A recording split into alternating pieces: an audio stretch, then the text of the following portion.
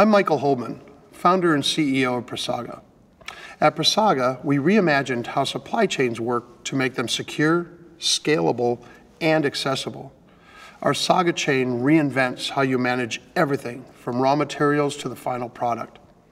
Powered by Saga OS, our global operating system, Saga Chain moves beyond traditional blockchain to an ever-growing first-class object model that uses a structure supported by dynamic smart assets, our answer to broken smart contracts. Specifically, composability across all objects, something impossible in smart contracts. By rethinking the developer ecosystem, Saga Chain uses common languages like Python, which will reduce the time and cost needed to integrate into current systems. Saga Chain will deliver on its mission to be the underlying foundation for all global transactions, financial or other. We are here to serve 8 billion plus people and all entities globally. Many thanks for the introduction and your time. What I'm about to show you is a small sample of what is possible with our new global operating system, Saga Chain. PraSaga lives by the ethos of transparency and immutability. All the code is available for anyone to explore. From aviation to automobiles to medicine and organics, we believe blockchain is going to revolutionize the world within which we operate. Saga Chain is a scaling single-layer blockchain.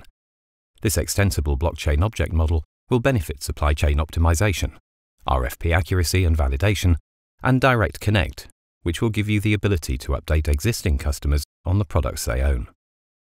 In Saga Chain, all items are identified as two types of smart assets, fungible and non-fungible. When the smart asset is unique and cannot be replicated, it is a non-fungible asset. When the smart asset is fungible, it can be fractionalized. Imagine a batch of 10,000 units, like spark plugs.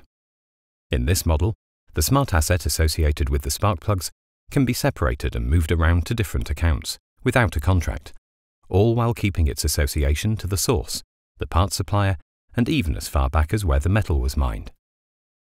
Once the final car is assembled, it will be classified as a non-fungible smart asset this smart asset will contain a link to the fungible smart assets in the vehicle, allowing every part in the car to be tracked. As you can see, we have three main panels, a parts supplier, a manufacturer, and the dealer. Let's complete our car's assembly by adding wiper blades, spark plugs, and the steering wheel. In the manufacture section, you can see two buttons, New Part and New Assembly. Let's select New Part to receive the items from our supplier.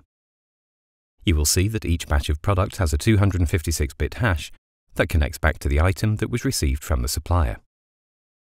Now that we have input the parts and their fungible smart asset numbers, we can add them to our assembly. For this example, most of our car is complete. You can see it has been assigned a non-fungible smart asset number and has a list of parts attached already. Each part has a fungible smart asset number attached in the underlying code. Now, let's add our wiper blades, spark plugs, and steering wheel. The car is complete and ready to be delivered to the dealer. When the car is sold, the non-fungible smart asset will be connected to the owner's wallet.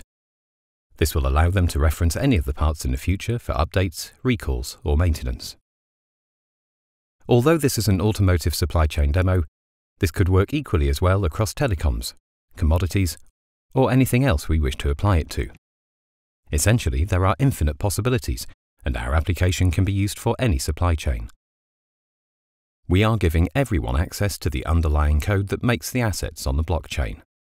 You are the one who defines what the asset is. This means you never need to write a smart contract.